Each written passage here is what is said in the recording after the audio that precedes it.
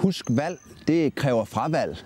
Noget, jeg oplever meget som eventyr, og jeg laver mange ting, det er, at folk kommer til mig og siger, hold da op, alle de spændende ting, du laver. Bare jeg kunne. Og det mange glemmer, det er, at når man træffer valg, så kræver det fravalg. Og det kræver det i alle situationer. Så vil du nå dine mål og drømme, så bliver du nødt til at se, det er det, jeg vil.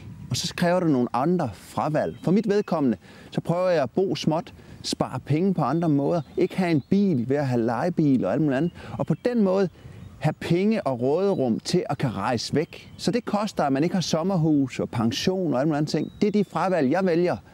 Og, og det er så vigtigt, hvis du vil nå noget, så kan man ikke alt. Så tag din valg, men tag lige så meget din fravalg.